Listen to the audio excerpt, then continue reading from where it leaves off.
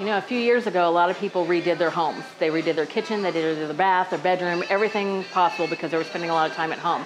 Well, now they're ready for a new, fresh look, and a lot of them are looking into lighting. So, lighting and lamps are something that we focus on at Melrose and have brought in several new lamps. There's two here in the Heritage Collection, and usually we don't have a lot of lamps in the Heritage um, kind of area, kind of the everyday look of the lamp.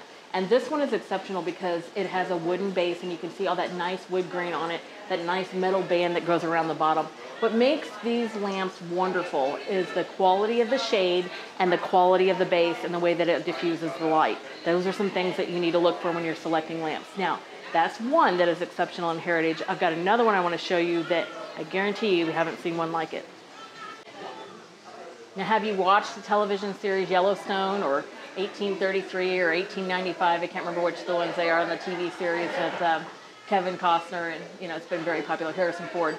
Well, if you have, you know that kind of look of that upscale Yellowstone look, and it was here in the Heritage Collection for Melrose too. And this lamp is the perfect example. Now, this was sourced in just to fit that bill, just to have that Wild West but urban look to it. And we've got this metal base here, um, an incredible lamp. I mean, have you ever seen a lamp like this one? Metal base with, you guessed it, a metal lampshade on it. Now this is a very exquisite lamp, um, very different. It's going to look very different than the other lamps that we have with the resin bases here at Melrose. But again, it fits perfectly into that upscale Montana, Wyoming, Wild West look that you would have at the Yellowstone Ranch.